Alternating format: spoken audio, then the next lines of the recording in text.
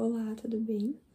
Acabei de realizar o curso sobre como entender o que os cães falam e vim aqui dar um feedback muito positivo. Eu tenho dois cães aqui na minha casa, eles são irmãos, são da mesma ninhada, mas apesar deles terem tido uma criação extremamente parecida, eles são muito diferentes. É, em uma mesma situação, eles se expressam de forma muito diferente e antes eu não conseguia entender como eu conseguiria ajudá-los e o que eu poderia fazer. E agora, após o curso, eu sei que cada um tem a sua maneira de se comunicar, eu entendo o que cada um deles quer dizer.